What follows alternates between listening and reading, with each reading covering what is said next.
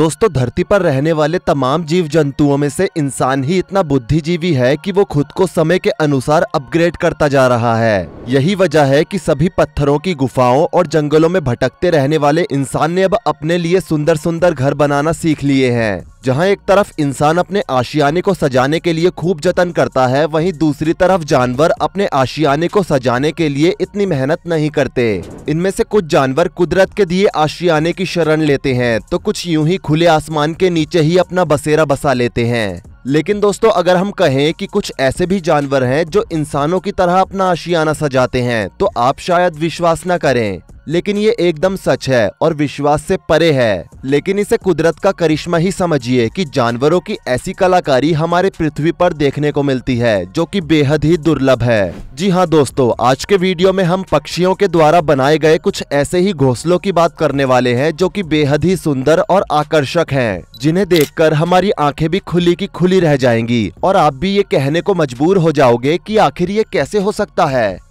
आखिर इतनी अच्छी कलाकारी ये पक्षी कैसे कर सकते हैं? तो चलिए आपकी कल्पनाओं को कलाकारी की दुनिया में ले चलते हैं।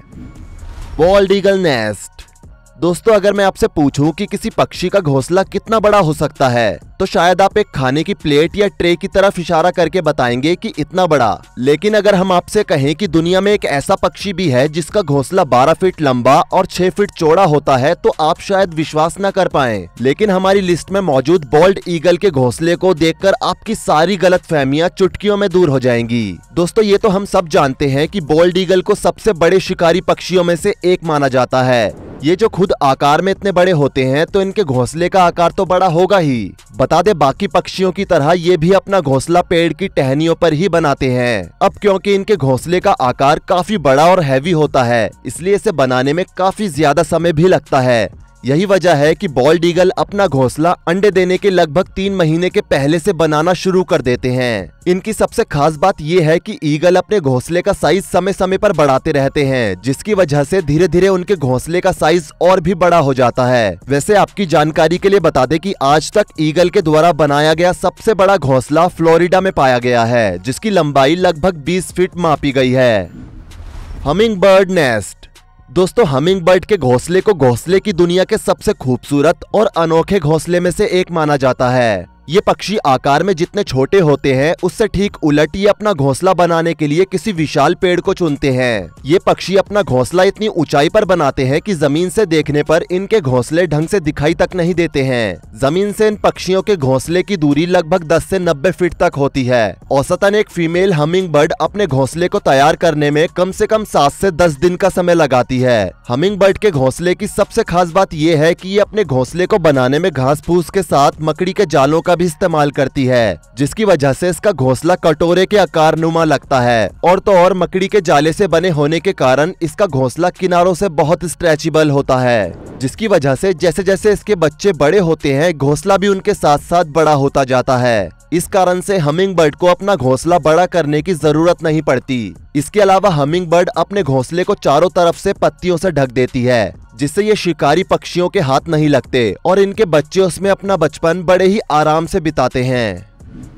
European bee eater nest. दोस्तों, इसके नाम से तो आप समझ ही गए होंगे कि ये पक्षी अपना पेट कैसे भरता है। बिल्कुल सही समझे। यूरोपीय महाद्वीप में पाया जाने वाला ये पक्षी अपना पेट पालने के लिए मधुमक्खियों का शिकार करता है। इतना ही नहीं, ये मधुमक्खी खोर पक्षी अपना घोंसला दूसरे पक्षियों से काफ़ी हटकर और नायाब तरीके से बनाता है। दरअसल, आम पक्षियों की तरह यूरोपियन बी ईटर अपना घोंसला किसी पेड़ की टहनियों पर नहीं, बल्कि पहाड़, नदी या रेत के टीले के किनारे पर ज़मीन के बेहद अंदर तक सुरंग करके बनाते हैं। इन पक्षियों के बेहद अजीबोगरीब जगह पर घोंसले बनाने के पीछे की वजह ये है कि इन्हें ऐसी जगह पर रहना पसंद है जो हवादार हो। लेकिन अपने इसी शौक का इनको खामियाजा भी भुगतना पड़ता है, क्योंकि एक सुराख जैसा घोंसला होने की वजह से ज़्यादातर सांप जैसे जीव इनके घोंसले में बहुत आसानी से घुस जाते हैं और इनके अंडे या बच्चों का शिकार कर लेते हैं, जिसमें की इनकी सारी करी कराई मेहनत बर्बाद हो जाती है। दोस्तों, इनके ऊपर तो एक लाइन सूट करती है की शौक बड़ी चीज़ है, फिर उसके लिए जान पर ही क्यों ना खेलना पड़े।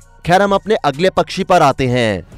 सोशेबल वीवर बर्ड नेस्ट दोस्तों, इस पक्षी के घोंसले को जिला कहना सही रहेगा, क्योंकि अफ्रीका में पाए जाने वाले सोशेबल वीवर बर्ड के घोंसले न सिर्फ़ दुनिया के one of the largest nest माने जाते हैं, बल्कि इन पक्षियों की सबसे खास बात यह है कि इनके घोंसले को पक्षियों का पूरा एक ग्रुप मिलकर तैयार करता है इनका घोंसला इतना ज़्यादा बड़ा होता है कि इसमें एक समय में लगभग 300 से 400 सोशेबल वीवर बैठ सकती हैं। सोशेबल वीवर बर्ड का घोंसला किसी दूसरे पक्षी के घोंसले के मुकाबले काफ़ी मज़बूत और टिकाऊ होता है इसे सूखी घास और पतली पतली लकड़ियों से बनाया जाता है। इन पक्षियों की कमाल की इंजीनियरिंग टेक्निक का आप इसी बात से अंदाज़ा लगा सकते हैं कि सोशेबल वीवर बर्ड के घोंसले में गर्मी में ठंड और सर्दियों में गर्म रहने की अद्भुत कला होती है। और तो और, जब आप कभी इसके घोंसले को पहली बार देखेंगे तो आपको ये घोंसला बेड पर डाले जाने वाले गद्दे की तरह लगेगा। और शायद इसी वजह से कभी कभी चीते भी पेड़ पर चढ़कर इस गद्दे नुमा घोंसले के ऊपर बड़े चाव से आराम फरमाते दिख जाते हैं। अगर आप कभी अफ्रीका के जंगलों में जाएँगे तो आपको ये नज़ारे देखने को ज़रूर मिल जाएँगे। Common tailor bird nest. दोस्तों, नाम के आगे कॉमन लग जाने से इस पक्षी को आप कॉमन समझने की भूल बिल्कुल भी मत कीजिएगा, क्योंकि इनके घोंसले बिल्कुल भी कॉमन नहीं होते हैं। वैसे तो एशिया में सबसे ज़्यादा तादाद में पाए जाने वाले ये पक्षी अपना ज़्यादातर समय पेड़ों पर ही गुजारते हैं, लेकिन इनके घोंसले बनाने के तरीके के बारे में सुनकर आप हैरान रह जाएँगे। दरअसल ये पक्षी मज़बूत और हरी पत्तियों को चुनकर उनके किनारों पर इतना बारीक छेद करते हैं, जिससे पत्तियाँ अंदर से खोखली हो जाती है, जिसके बाद पौधों से प्राप्त फाइबर या फिर कीड़ों से मिलने वाले रेशम से ये उन पत्तों को आपस में चिपकाकर बहुत ही बारीकी से इसकी सिलाई करते हैं। एक अनुमान के मुताबिक कॉमन टेलर बर्ड अपने हर एक घोंसले को बनाने में कम से कम 100 से 200 टांके लगाते हैं, जिससे इनका घोंसला तेज हवा के साथ साथ दूसरे पक्षियों के हमलों से भी काफ़ी हद तक सुरक्षित बचा रहता है।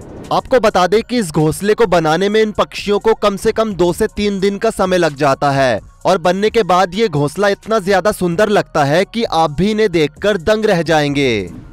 वीवर बर्ड नेस्ट दोस्तों, इस पक्षी को न सिर्फ़ इस दुनिया के सबसे पुराने पक्षियों में से एक माना जाता है, बल्कि इनका घोंसला दुनिया के सबसे खूबसूरत घोंसलों में से एक है। इस कमाल के पक्षी का नाम वीवर बर्ड है। वैसे तो नॉर्मली इसका घोंसला आपको ज़्यादातर लंबे लंबे पेड़ों पर देखने को मिलता है, और ये अपना घोंसला बनाने के लिए बड़ी बड़ी घास की पत्तियों का इस्तेमाल करते हैं, जिसकी वजह से इनके घोंसले हद से ज़्यादा मज़बूत होते हैं, जो कि आंधी और तूफ़ान का भी डटकर सामना कर लेते हैं। और हाँ यहाँ एक और बात आपको बता दें कि इसके घोंसले को बनाने की ज़िम्मेदारी सिर्फ़ और सिर्फ़ मेल वीवर की ही होती है। और इसमें फीमेल वीवर उनका बिल्कुल भी साथ नहीं देती। पर हाँ घोंसले को बनाते समय मेल वीवर को अपनी गुनगुनाहट से डिस्ट्रैक्ट ज़रूर करती है, जिसकी वजह से इनके घोंसले को पूरी तरह से बनने में दो से तीन महीने का वक्त भी लग जाता है।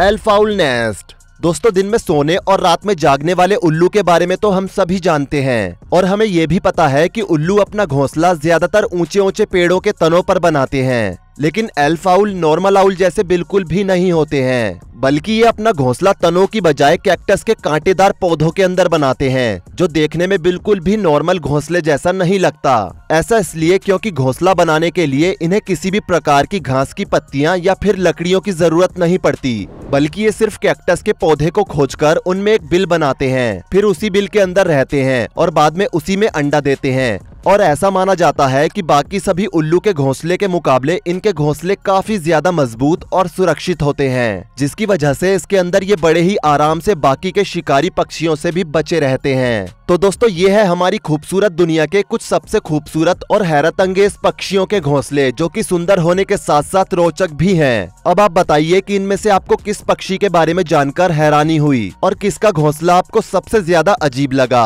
और क्या आपने कभी अपने आसपास इनमें से किसी भी पक्षी के घोंसले को देखा है? अगर हाँ तो हमें कॉमेंट करके ज़रूर बताएँ। हमें आपके कमेंट्स का बेसब्री से इंतज़ार रहता है। और हाँ अगर आपको हमारा वीडियो पसंद आया हो तो हमारे परिवार का हिस्सा ज़रूर बने, ताकि हम आपके लिए ऐसे ही रोचक और रहस्यमयी वीडियो लाते रहे। तो फिर मिलते हैं अगले वीडियो में, तब तक के लिए बाय